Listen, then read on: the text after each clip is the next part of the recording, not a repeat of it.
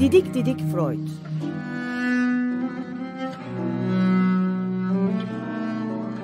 Freud'un ailevi ve tarihi romanı. Serol Teber ve Şenol Ayla. 10 yıl sonra tekrar.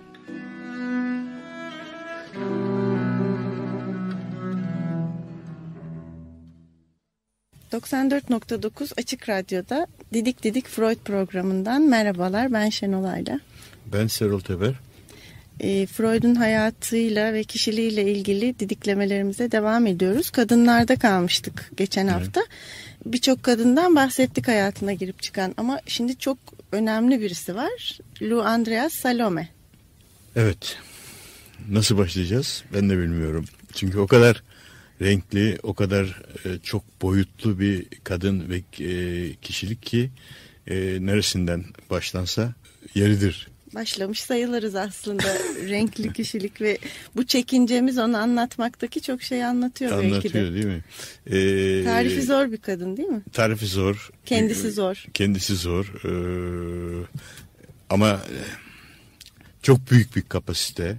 Yüzyılın en özgür, en dışa dönük, en kapasiteli, en zeki bir kadını ama aynı zamanda yüzyılın en zeki insanlarıyla da en parlak, en e, e, çağ açan insanlarıyla da birlikte olmasıyla da ünlü.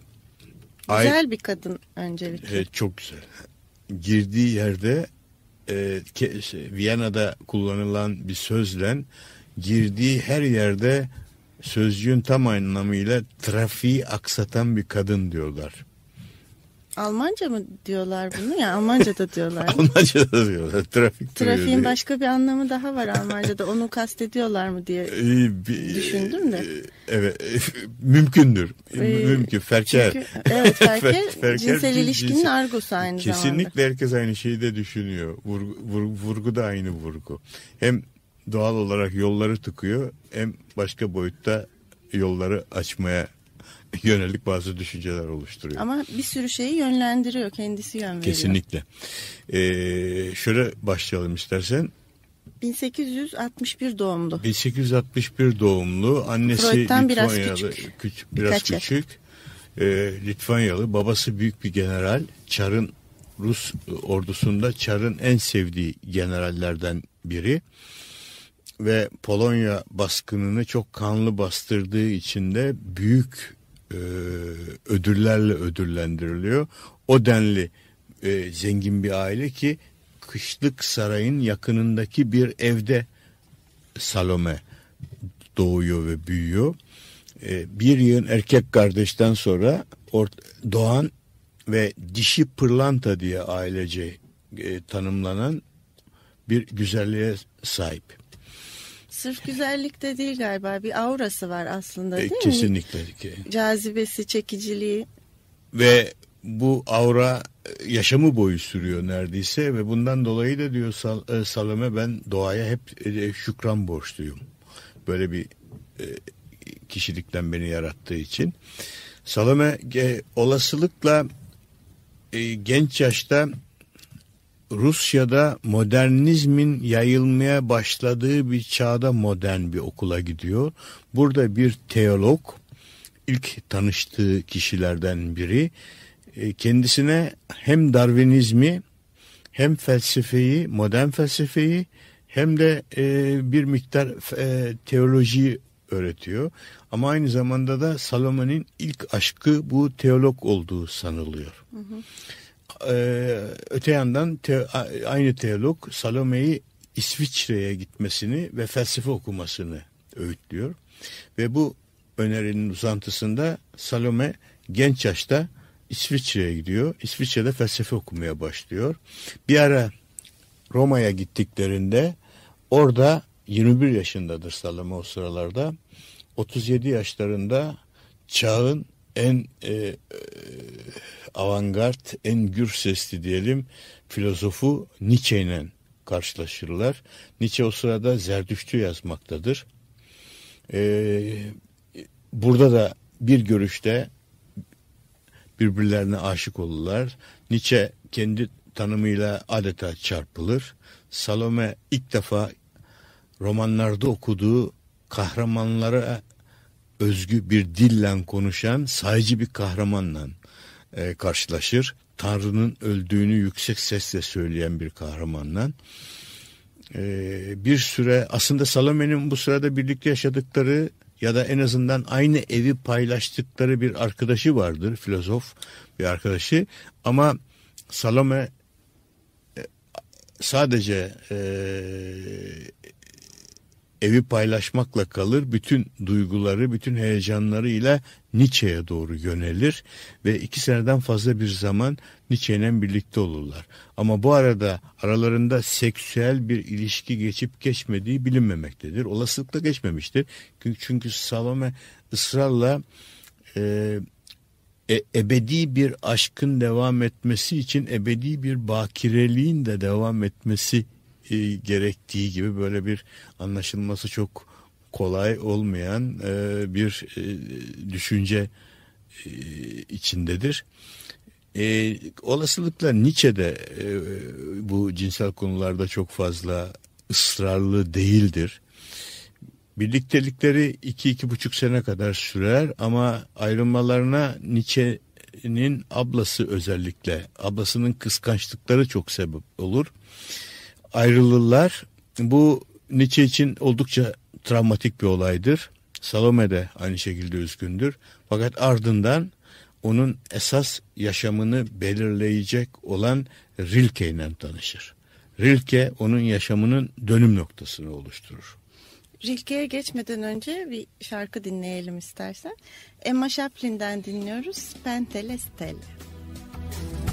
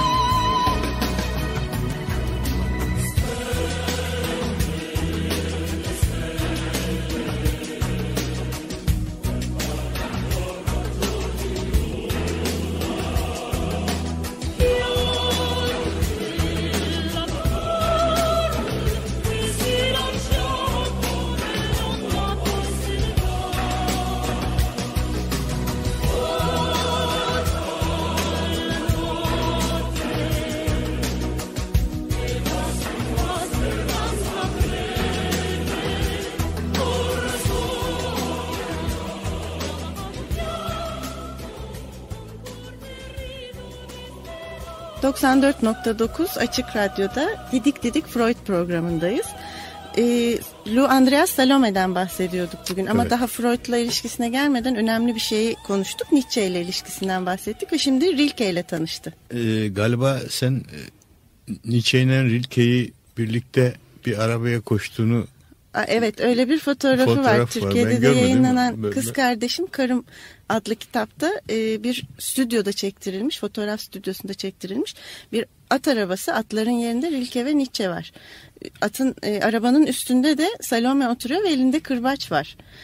Bu fotoğraftan yola çıkarak Nietzsche'nin o sıralar yazdığını söylediğin Zerdüşt kitabında da bahsettiği kadına giderken kırbacını esir, e, unutmayacaksın sözünün belki de buradan esinlenebileceği de düşünülebilir ya da öyle spekülasyonlar da oluyor. İlginç bir fotoğraf. e, görmedim ben ama yani ilk fırsatta görmeye çalışacağım. Üç önemli Mümkün insan değil. bir arada. Evet.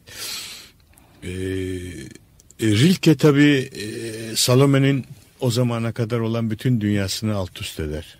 Çok etkilenir.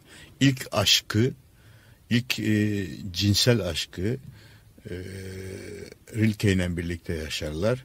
Kendi söylediğine göre iç organlarımın kokusunu aşk e, e, e, süresince cinsel ilişki süresince iç organlarımdaki değişen kokuları ilk defa Rilke ile yaşadım der. Bu denli yoğun bir aşktır. E, Rilke de aynı şekilde e, Salome'siz bir dünyayı düşünemediğini kerelerce kerelerce söyler. Ama e, yazık ki dört yıllık, dört buçuk yıllık bir aradan sonra ayrılmak zorunda kalırlar. Ayrılma nedenleri büyük bir olasılıkla Rilke'nin bitip tükenmeyen melankolisidir. Salome artık bu e, sürekli depresyonu taşıyamayacak bir durumdadır. Birbirleriyle sürekli ebedi dost kalmacasına ayrılmak zorunda kalırlar. Şairlerin ortak yazgısı sanıyorum. galiba Melankoli bu, ve bu ve depresyon şey ve de ayrılmak. ve de ayrılmak. ve de ayrılmak. Tabii e, Salome'nin e, ilişkileri burada bitmez. E, pek çok kişiyle birliktedir ve bir ara yolu Viyana'ya düşer. Viyana'ya düşmesi tam bir e, demeyecek söylediğimiz gibi e, trafiği Karıştırır. karıştırmak e, biçiminde olmuştur. E, bir süre sonra bütün e, Viyana çevreleri, entelektüelleri Salome'den söz etmektedirler ve hem de ondan senli benli konuştuklarıyla söz etmektedirler. Gurur bu- duyuyorlar bundan. Gurur duyuyorlar ve son, sanki e, Salome'nin intim yaşamına çok e, yaklaşmışlar, çok karışmışlar gibi konuşuyorlar. Bunlar ne kadar doğrudur, ne kadar eğridir bilemiyoruz ama bildiğimiz bir şey var. Böyle bir figürü var. Böyle yani bir figürü Salome. var ve Freud Salome ile bir araya geldikleri zaman kesintisiz 8-10 saat birlikte olmuşlardır. Bu Freud için de yeni bir yaşantıdır. E, ayrıldıktan sonra e, e, meraklı bakışlar Freud'un üzerindedir. Freud hiç istifini bozmaz. Korkutucu derecede entelektüel bir kadındır. Sadece bu konular üzerinde konuştuklar ve açık konu şeyine bu uzun birlikteliğe açıklık getirir ve bu konuşmadan ve izleyen konuşmalardan sonra Freud'un üslubunda bile bir değişiklik olduğu söylenir ve bunu fark eden Karl Abraham ona üstad yeni bir yazış stili geliştirmişsiniz diye küçük böyle bir iğneli e, ya e, şeyde de bulunur. Eleştiride E, e, yani belirtir altını. Yani yutmuyoruz bu Farkındayız. yeni yeni yeni gelişmeyi de. Burada ben bir liste e, uzunca bir listeyi anımsatmak istiyorum. Salome'nin Viyana'da Evet, e, ne kadar etkili olduğunu. E, kimlerle beraber oluyor, şimdi- kimlerle tanışıyor. Düşünün Nietzsche, Rilke, Freud, Gerhard Hauptmann, sosyalist önderlerden Georg Ladebur, rejisör Max Reinhardt, yazar Arthur Schnitzel, Hugo von Hofmannsthal, filozof Paul Reh, Münihli yazar Frank Wadekin, feminist Helena Stücker, araştırmacı Friede von Bülow, Maria von Ebner Aschenbach ve daha pek çokları Salome ile tanıştıktan sonra yazdıkları yazılarda felsefi olsun, şiirsel olsun, roman olsun, tiyatro olsun, ne olursa olsun Salome'ye göstermeden, onun fikrini almadan, onun evetlemesini almadan bunları yayına vermezler. Ve bunların başında Freud'u koyabiliriz. Freud o günden sonra hiçbir yazı, önemli yazısını diyelim ya da kitabını ilk önce Salome'ye gösterip onun önerilerini, eleştirilerini ve onayını almadan yayınlamamıştır. Hatta konuşmaları sırasında da Freud Salome'nin gözlerine bakarak konuşuyor O ayrı genellikle. bir poezi tabii, ayrı bir tutku ve e, Salome'nin olmadığı toplantılardan ardından Freud o ünlü mektuplaşmalarıyla hemen bir mektup yazar. İşte örneğin dün gece yerinizde yoktunuz ve gözlerim sizin oturduğunuz koltuğa takılı kaldı e, şeklindeki sözlerle yaşadığı Eksikliği eksikliği tam sözcüğün tam anlamıyla eksikliği ve yalnızlığı anlatır. Tabi Salome'nin de Freud hakkında çok güzel bir gözlemi vardır. Freud'un hem kendini ele verme hem kendini saklama e, yolundaki o çabalarını Salome'de çok e, kavranması zor bir e, beceriyle diyelim yetenekle anlatır. Örneğin şöyle bir epizodu vardır. Freud'un bir derse, bir seminere girişini betimler. E, Freud bir omzu düşük, e, kapıdan içeri girerken bir omzu düşük, duvarın kenarından ve duvara sürünerekten sanki kimseye görünmemek, kimseye kendini fark etmemek, e, fark ettirmemek e, çabasıyla kürsüye doğru ilerler, korku içindedir ama aynı anda da dehşetli bir şekilde kendisinin orada olduğunu, var olduğunu ve herkesin kendisini görmek istedi, görmesi gerektiğini istemek, istemek, hissetmek. hissettirmek, hissetmektedir, hissettirmektedir. Ve Salome bunu şeytani bir biçimde Fark eder. fark eder ve yazıya döker. Peki şimdi Bach'tan bir parça dinleyelim. Hmm, Solo keman için bir nolu sonatından Presto.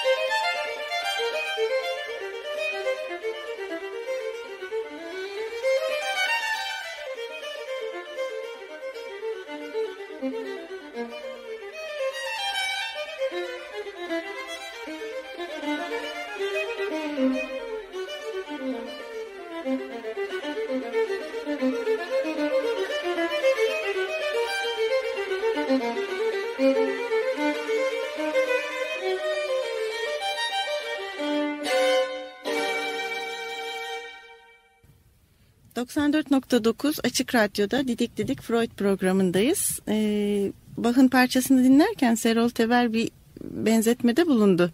Buradan okuyabilir miyim? Ya, lütfen. Benzetmeyi. Lütfen. Ee, parçanı aslında Salome'ye benzetti az önce çaldığımız parçayı. Ee, hiç kimseye ait olmamaya, kendisi olmaya, kendisine ait olmaya, bağımsızlığını koruyup aynı anda pek çok erkekle ilişki kurmaya, e, kurmayı seçen bir kadın olarak gördüm bu keman partisiyosunu aslında. Evet. Doğru da e, Freud için de zaten tehlikeli, korkutucu bir kadın aslında.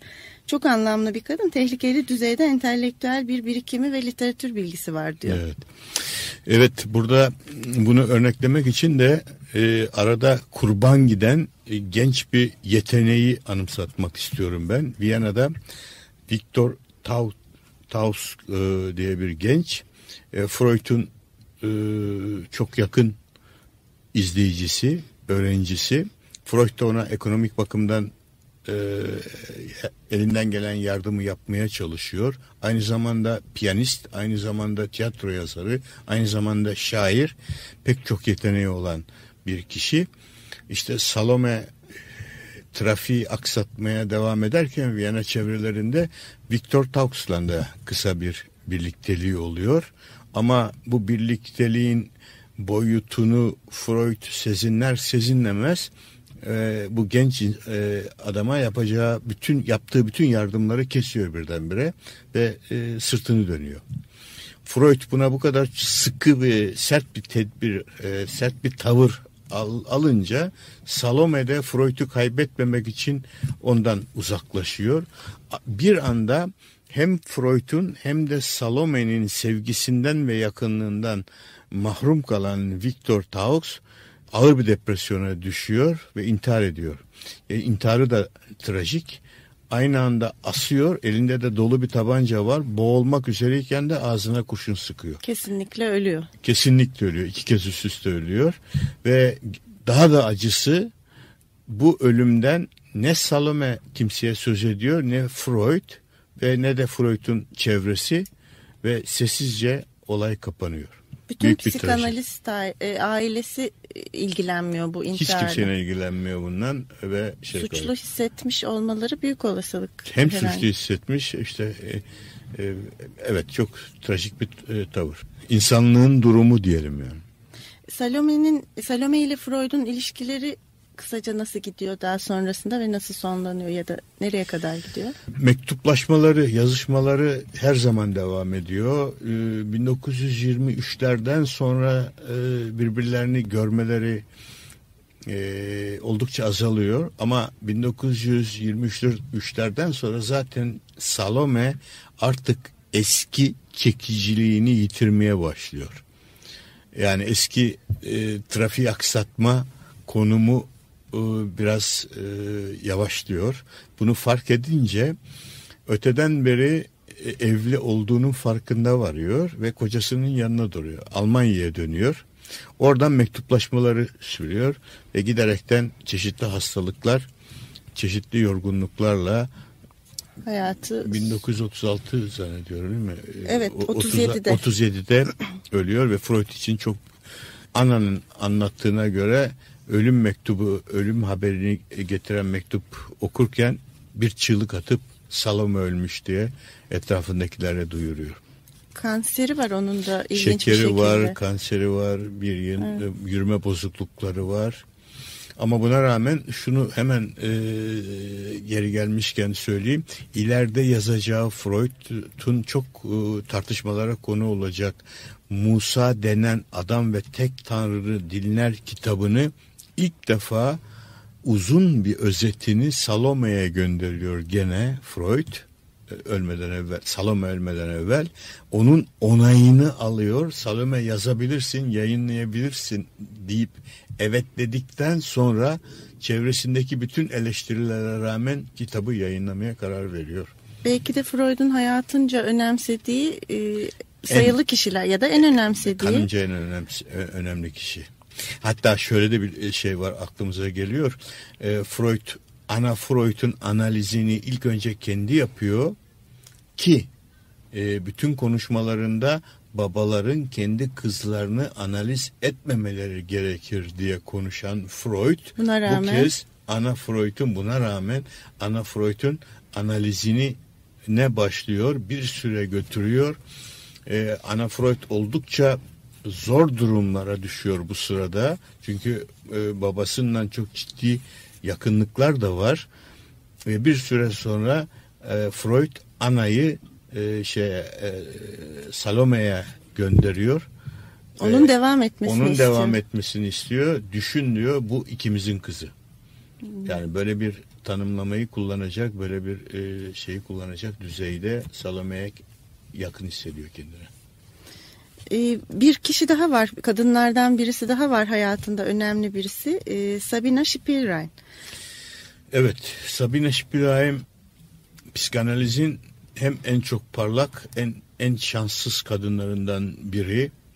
Çok genç yaşta çok büyük bir bilgi kapasitesinden e, neredeyse bu bir e, bomba gibi düşüyor psikiyatri camiasına. Yahudi kökenli bir Rus ailesinden çok zengin, e, çok kültürlü ama çok sorunlu bir kız. Küçük yaşta ağır bir depresyona düşüyor. Bunu çözebilmek için de ilkin e, Jung'un kliniğine gidiyor. E, Önce hastası oluyor. Önce hastası oluyor, sonra asistanı oluyor, sonra da sevgilisi oluyor. Jung'un e, bayağı skandallara neden olan bir e, cinsel ilişki dönemi var Sabine ile. E, Emma da bunu öğrenip ciddi problemler çıkarıyor Jung'un karısı. Fakat bütün bunların ötesinde Sabine e, psikanalize çok büyük katkılarda bulunuyor. Örneğin ölüm içgüdüsünü, tahrip içgü, içgüdüsünü aşkla, e, sevgiyle birlikte oluşan e, bu e, tahripkarlığı ilk kez sistematik bir şekilde yazan Sabine Spielrein.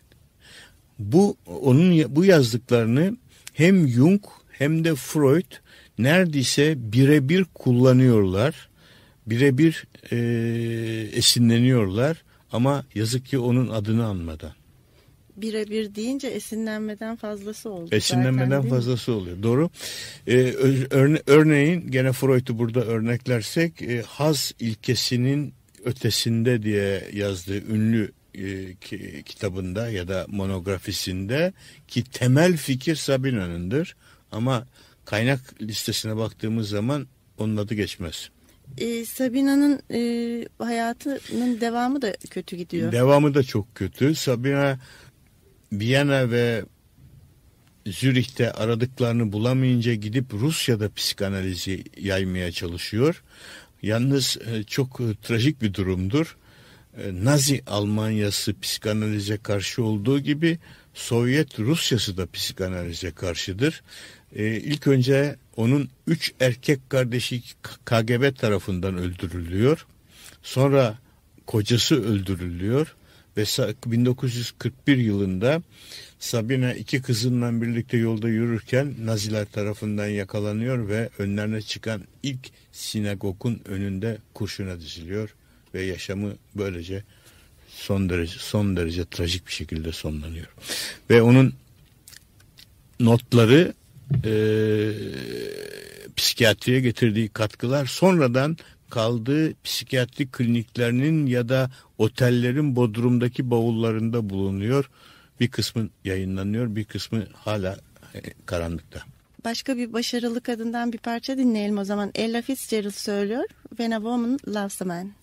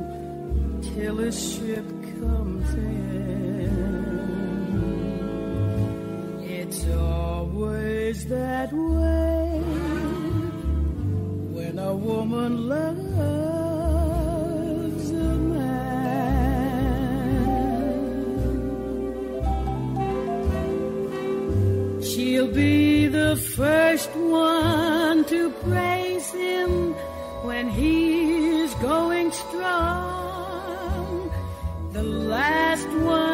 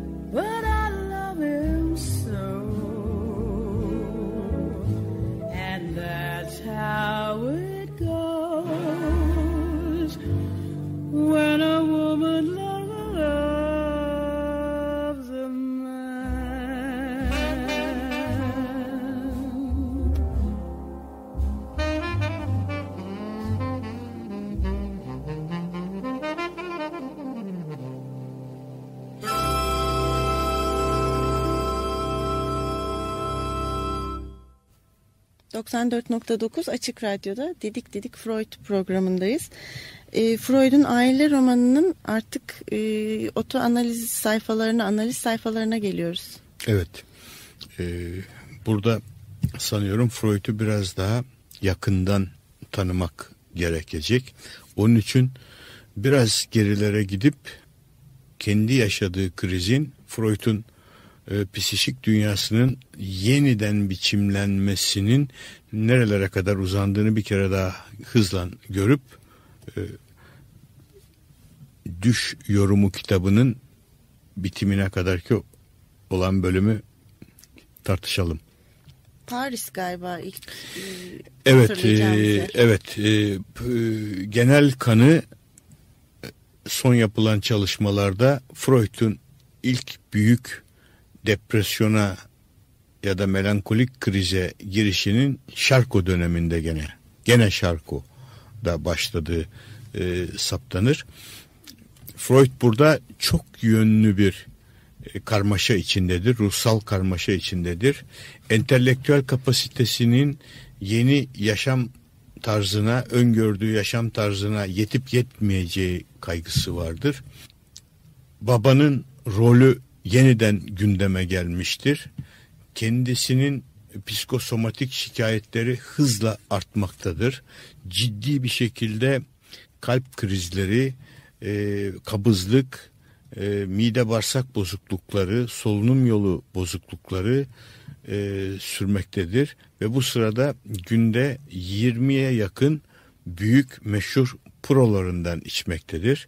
Bu sırada yakın arkadaşları gerek Filiz gerekse e, Breuer kendisine e, miyokardit kalp kası iltihabı teşhisi korlar ya da nikotin enfeksiyonu tanısı korlar ve ama e, buna karşı Freud sürekli ölüm düşleri görmektedir, ölümü istemektedir, intihara hızla yaklaştığını etrafına sezinletmek sezinletmektedir ya da yazmaktadır. E, am, öte yandan kendisine konan bu e, nikotin yasağına uymamak istediğini Filise neredeyse küçük e, şımarık bir çocuk edasıyla yazar. Şöyle der, senin sigara pro yasağına uymuyorum. Sefalet içinde uzun yaşamaktansa mutluluk içinde az yaşamayı seçiyorum diye bir mektup yazar. Ve hakikaten de e, pro içmeye devam eder ki bu alışkanlığı onu ileride çene kanserine kadar götürecektir. Buna rağmen düşüncelerini aksatabilir kaygısıyla pro içmeyi kesmez. Ama aynı zamanda e, yaratıcı bir melankoli ve yaratıcı bir kötümserlik içindedir. Ve bir yalnızlık ve yalıtılmışlık Müthiş bir içinde. yalnızlık var ve o anda sezinler ki içinde bulunduğu psişik durumu şimdiye kadar öğrendiği nörofizyoloji ve nöroanatomi bilgileriyle çözmek mümkün değildir. Yeni bir metodoloji bulmak zorundadır. Yeni bir yöntemle ilk önce kendisini analiz edecektir. Kendisinde bulduklarıyla hastalarında bulduklarını karşılaştıracak. Bundan yeni bir metot çıkaracaktır. Bu da işte e, Freud'u Freud yapan en büyük adım atılmaya başlanmak üzeredir. İlk defa tarihte bir i- kişi, bir doktor, bir psikiyatr kendi kendisini analiz etme sürecine başlar. Evet, oto analizine geldik. Evet, artık oto Freud'un. analizine geldik. E, Ölüm fantazilerinin, huzursuzlukların, güvensizliklerin, e, sıkıntılar içinde kıvrandığı anda aynı zamanda da entelektüel bir sıçrama yapma süreci kendisi başlar ve burada çoğunluğu hastalarında gördüğü 18 kadar hastasında topladığı bulguları 21 Nisan 1896'da Viyana Nöropsikiyatri Kongresi'nde tebliğ eder. Bu hastaların tümü kadındır ve tümünde de gençlik yaşlarında, çocukluk yaşlarında e, cinsel tacize uğrama e, durumu ya da fantazileri vardır. Bu tebliği sunmasıyla Freud'un etrafında büyük bir olumsuzluk dalgası oluşur. Herkes buna karşıdır.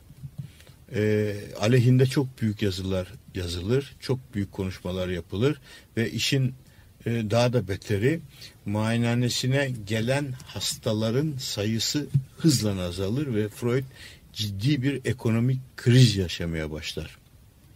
Bu ölümcül bir darbedir Freud için. Ama e,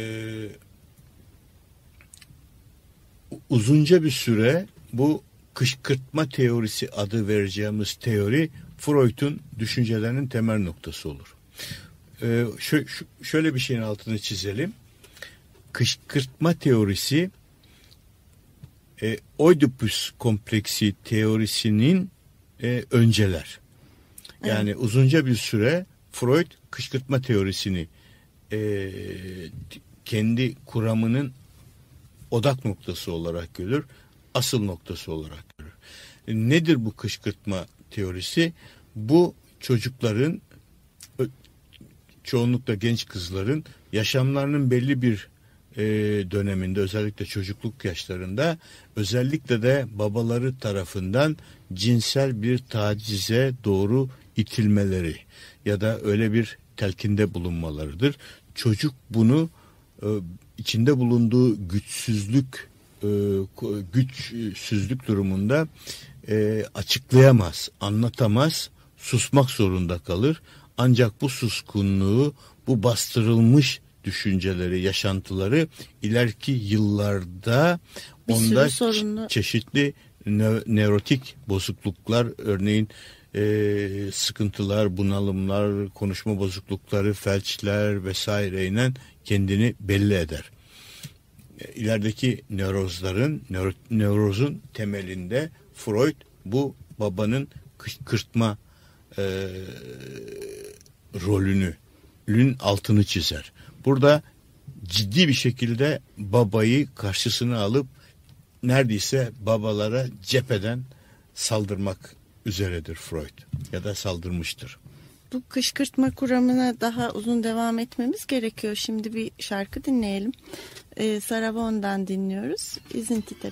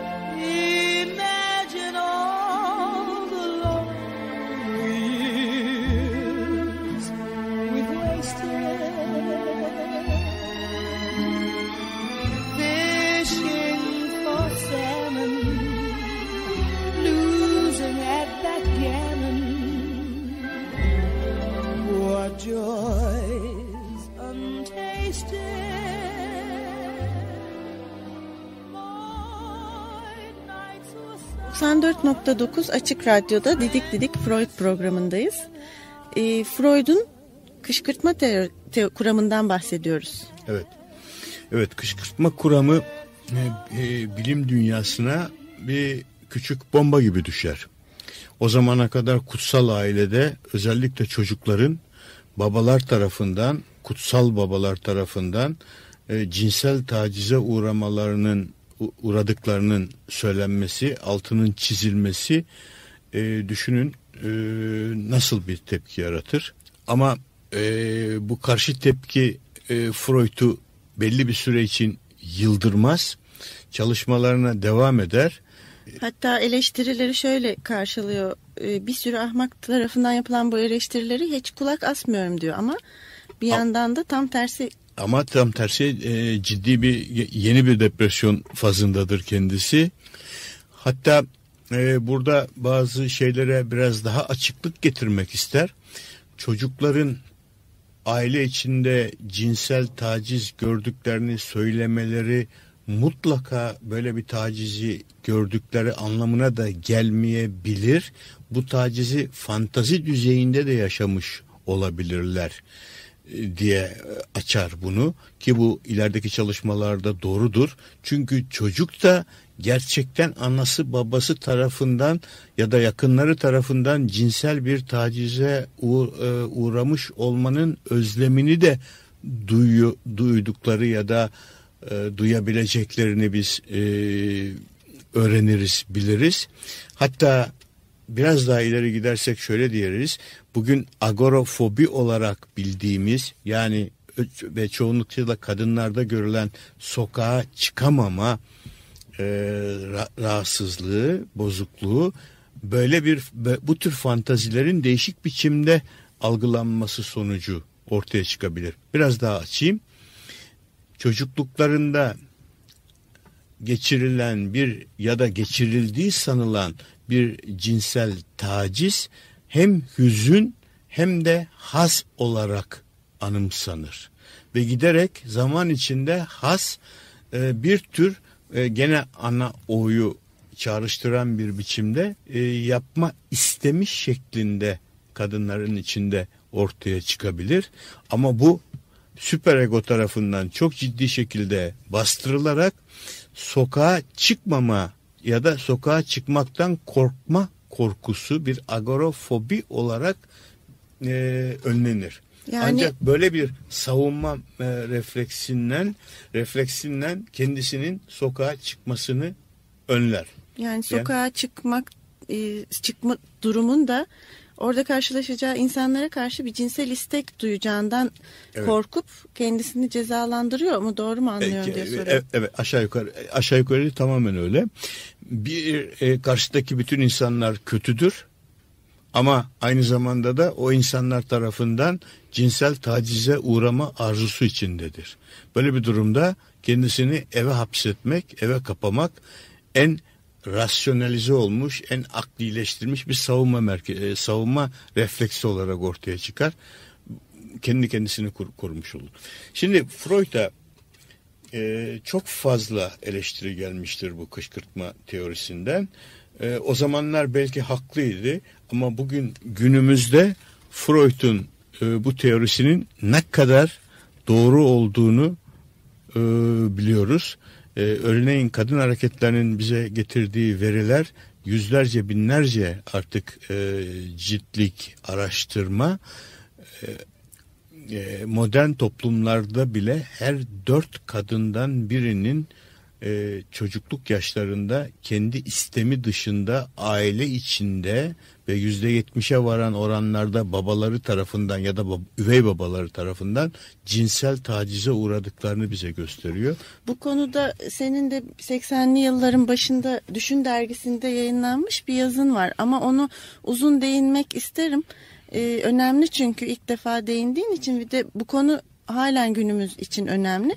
Onun için bunu uzun olarak öbür haftaya bırakırsak çünkü Peki. süremiz doldu.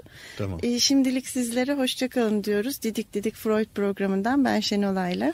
Ben Serol Teber, hoşçakalın. Görüşmek üzere.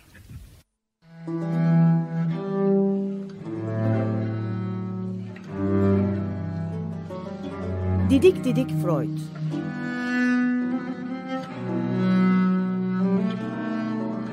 Freud'un ailevi ve tarihi romanı Serol Teber ve Şenol Ayla 10 yıl sonra tekrar.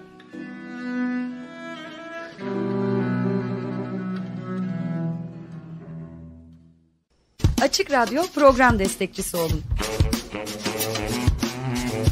Bir veya daha fazla programa destek olmak için 212 alan koduyla 343 41 41